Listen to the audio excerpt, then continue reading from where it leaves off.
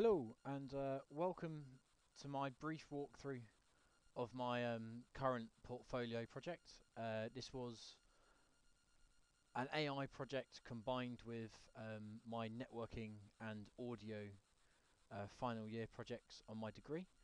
It was maintained throughout my master's degree um, and then I entered full-time employment and uh, haven't looked at it since.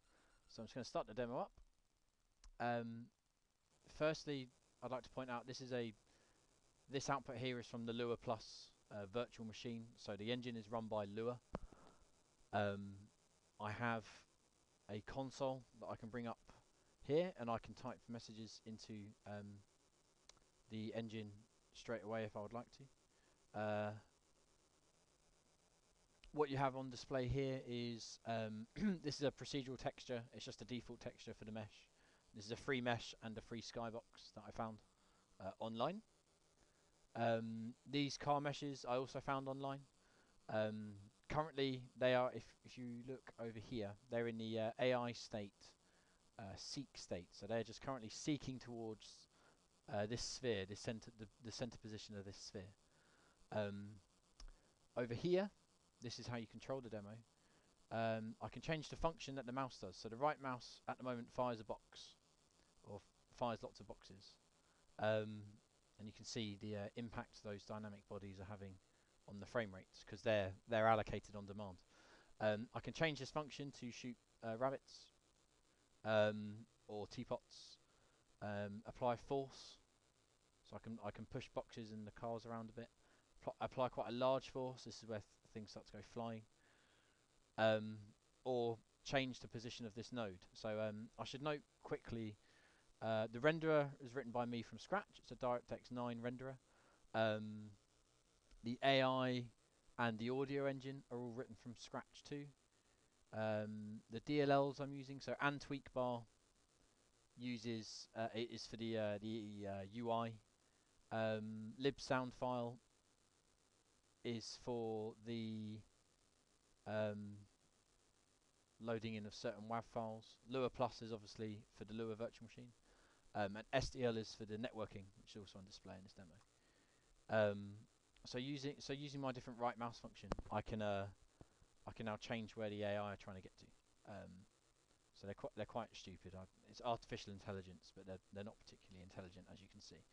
Um, I can I can, however, change their state their state. So if I move this over here and change to flee state, so now they're just going to try and essentially run away from wherever this is, very naively. Again, just head straight into the wall.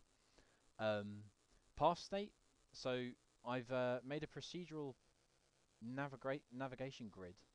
Navigation. Um, I'm just going to move the camera up so we can get a better look. So what I can do here in the rendering is I can uh, turn the uh, models off. So now we only have the skybox. Um, but I can also draw the AI grid. So this this grid, it's a fixed size grid, and the way it works is I raycast down until I hit the floor, um, move it up a little bit, and then raycast along the uh, the connections. Um, and as you can see, it forms a pretty decent grid around the city. If I turn the models back on, you can sort of see roughly. And uh, this this is the grid that the AI use. So if I move this chap over here, once they've uh, finished faffing around, they should hopefully iterate along this path and end up somewhere over here. Um, so if I turn the uh, AI grid off, you actually see the path that's generated. Now this is using an A-star algorithm, so it's quite quick um, and executes on another thread um, on a request basis. So if I move it back over here, they should, as you can see, they navigate around the buildings. Um, so the next state I have is called arrive. Uh, oh, sorry, that's wander. That's just stupid. Um, so arrive, they essentially try and adjust their velocity to arrive nicely in the sphere. If there was only one of them, you should hopefully see them essentially park in the sphere, but obviously they hit each other. Uh, this is formation state.